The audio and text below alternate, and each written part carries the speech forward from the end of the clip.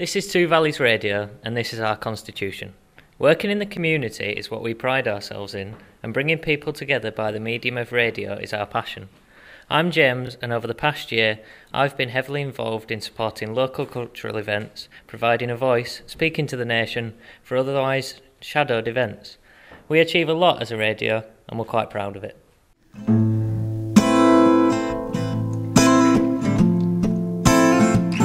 Extracurricular on Two Valleys Radio.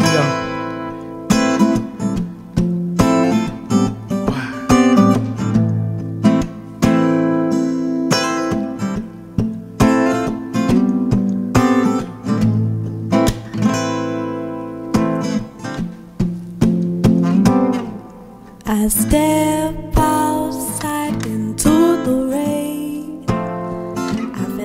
drop on my head, so I turned and I went back inside again. So rainy days they dull my emotions and leave me low, and got me dreaming of a hot destination where I need to go. And so I grab my umbrella and go back to face the storm. I'm hoping that my feet in these boots they will stay dry and warm. Cause I'm begging for and I'm praying for the sun to come my way and bring me constant joy and happiness. My name is Tom, and today I will be telling you of how I started off working with Two Valleys Radio. It started off with me being called out of a lesson at school. I thought I was one, in for a surprise, two, in bad trouble, or three, my family were hurt.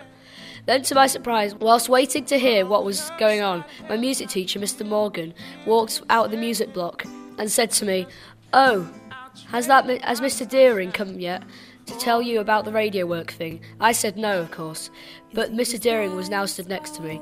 He told me about playing two, maybe maybe even three songs at the Upper Gala. I did play at the, that festival and I really enjoyed it. My highlight of Two Valleys Radio was actually trying to get someone to broadcast with us. Me and another student at Holmfirth High School arranged a meeting. The meeting was successful and we managed to get a phone call with him in a broadcast.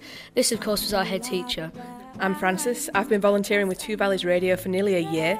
In that time, I've interviewed filmmakers, sculptors, writers, university lecturers, bands, charity workers, and painters.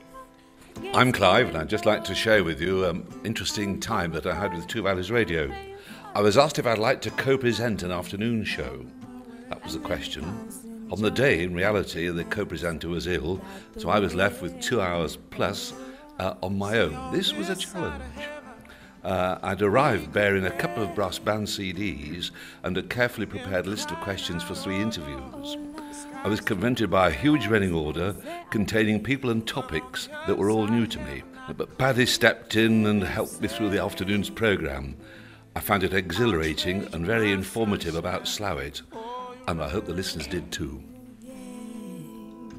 Beautiful rain clouds carpet the skies and deposit droplets to end the drought and mark its demise. As sure as karma supplies the sunshine in the summer, the rain cometh and with it bringing the lightning and thunder. The sound frightens the youngest. I celebrate when the skies pour. They say the gods are upset. I wonder what they cry for. We rain dance, embracing showers. It's part of nature how the water restores the beauty of dehydrated flowers. It's the greatest power known to man. The sky sprung a leak, the earth soaked it up, the crops grew, and the hunger ceased. We're living comfortably. We take the privilege for granted. The fifth of the planet lacking is considerably damaged, and we're complaining again. Damn it, it's raining again. Puddles on pavements, cause the rain won't penetrate the cement. It's making no sense how one man's loss is another's gain. That's why you can see me out there singing in the rain like.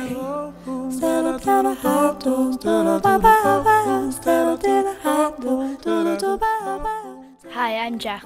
I interviewed three MPs which were in which were in the um, vote a week or two before the vote. They all had a chance to tell the community what they would change. I thought that the way they answered the questions was amazing, even though they used big words. The downside of this was not understanding what they were saying because I never heard the words before. I really enjoyed the experience.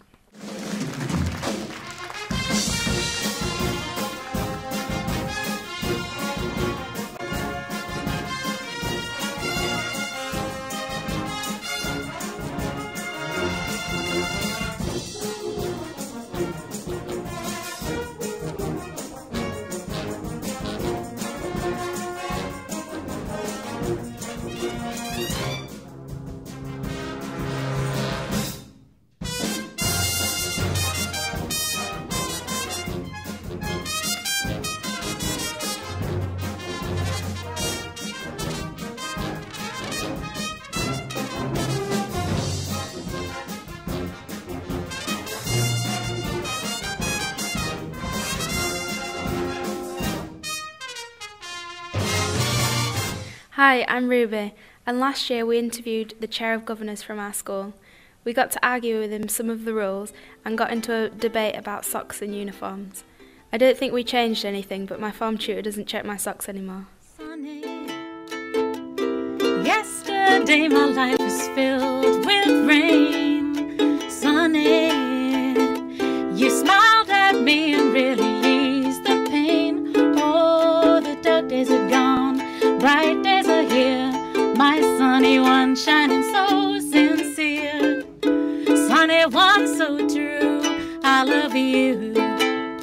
I am Mikey, and the best thing I've done at Two Valleys Radio is when me and my band were invited to play at Honley Shire, which is a big agricultural event with sheep and tractors and things.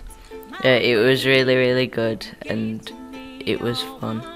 Uh, one of the nicest things for me was uh, when uh, we had six young people in the studio up at Meltham doing a telev- telephone interview with the head teacher of Holmfirth High School. And I looked round, and it was only then that I realised we had two young people from Holmfirth High School, two from Honley, and two com- from Colne Valley High School. And they'd only ever met because of Two Valleys Radio. Uh, hi, I'm Connor.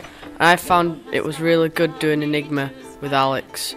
We had a really good time, and not many people like heavy metal, and it's not included in most things, and I thought it was good to give it a chance.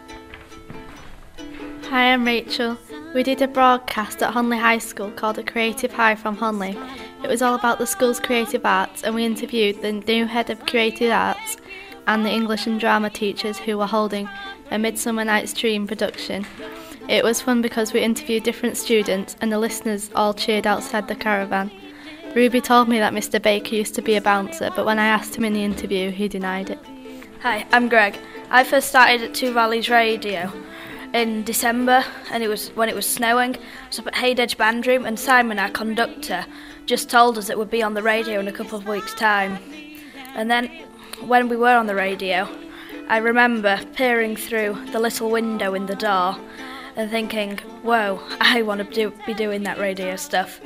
and I emailed Adrian on, from the website. And in a couple of weeks' time, I was interviewing the mayor of Kirklees. So it's great.